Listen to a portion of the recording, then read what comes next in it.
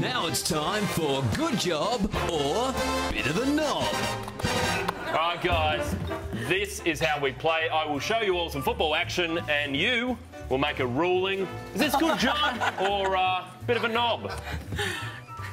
Right here, here we go. Right, first action. Let's have a look. Let's have a look. So this is Uruguay, first round, losing to Costa Rica. Good job or bit of a knob? They were ganging up on him there. What's the verdict? Doing him. A bit of a knob there, I think, yeah. Good job. All right, good eh? job. Johnny I White. reckon that was a that was a fair push. I reckon, and that was. And if you're going to do something, do it properly. Yep. And he probably just- gave energy to his teammates. Good job. All right, let's Next have a look one. at another one.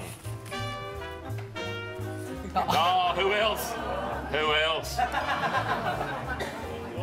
To be fair, to be fair, the guy